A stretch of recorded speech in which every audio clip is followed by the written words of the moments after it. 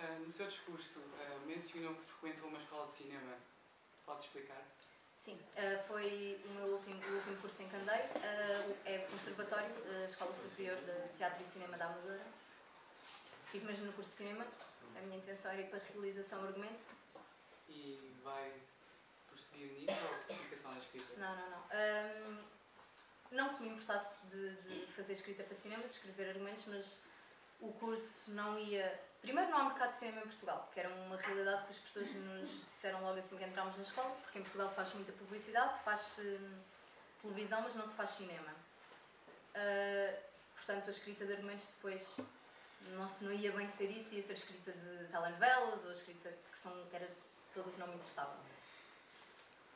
Portanto, talvez mais tarde, se conseguir fora de Portugal, estaria interessada em escrever argumentos, mas no momento quero dedicar-me à escrita. Até porque a realização pessoal de, escrever um, de estar a escrever uma história, de despejar aquele conflito emocional, ou até, ou até mesmo uma história estruturada, de, de pô-la num livro ou um conto, ou pô-la num argumento é muito diferente, porque o argumento não pode ser muito literário.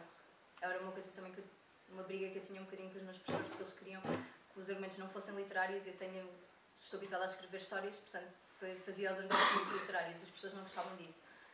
O argumento normalmente tem de ser sempre escrito no presente, tem de ser muito descritivo, não podemos influenciar muito a forma como ele vai ser filmado, portanto o realizador tem de ler achando que o argumento não está a influenciá-lo. Podemos indicar algumas coisas que ao realizador podem dar imagens de planos, mas à partida não podemos dizer isso de uma forma muito clara. Mas sim, se, talvez no futuro, se surgir essa oportunidade, estou interessado em escrever para, para cinema, para televisão, não, não acho que seja muito